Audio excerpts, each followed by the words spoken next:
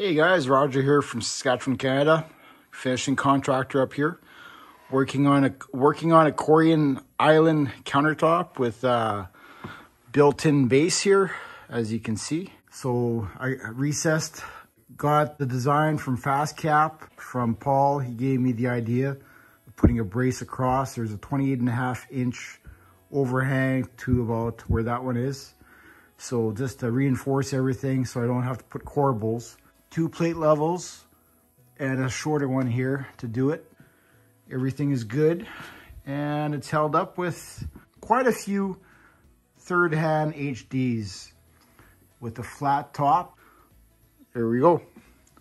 Tomorrow we'll be actually moving it to the job site. We'll be using two shoulder dollies to carry it, but then after that, out of the trailer. But I plan to use the FastCap Speed Skate which is this. Nice set of roller bearings. Be able to actually set it into place there. Be able to put a blanket around as a padding. And yeah, it's going to work just fantastic for this application. So speed skate will be saving our backs and the day, the move of this beast. So there you go. Just setting myself up to, to transport a five, five by nine foot island. But yeah, what's nice is that with FastCap's products to organize and have places for many things from third hand holders to track racks the best fence um, rail holders everything has a home level holders over there. Everything has a home and it's fantastic. Don't have to worry about them falling. They're in place in transport and easy grab and go access but yeah track racks are there, third hand holders. Up here, I have the XL, level racks, track racks, best fence holders, and third hand holders work fantastic. Level holders, great products from FastCap. They're safe on the roof with the track racks.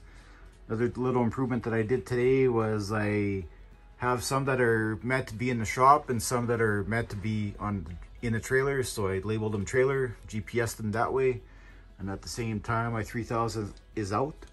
So I GPSed it, labeled it that way so that when it's out, you know exactly where it is. Stopping the struggle and putting some GPS little locators on them, different colors and different areas. And when I take this off, also have a label that says little hand XL six inch pads and I have some other ones with articulating three inch pads so there you go stopping the struggle everything's out of home GPSed and ready for the next time. Grab and go. I wanted to do this improvement a long time ago but yeah I was here just sitting there. It was on a really rough road and the whole place was shaking other things were kind of falling over and all that but that magnet stayed in place so I said for the hell of it, I'm gonna put a holy mag and a screw, have it always accessible, because I would always try to find it. So I solved my struggle, and yeah, now it's magnetized in its spot. When I'm done, when I need it, grab and go, and then just bring it back into place, and there you go. Stopping the struggle, one improvement at a time. There you go, boys. Have a great one. Bye.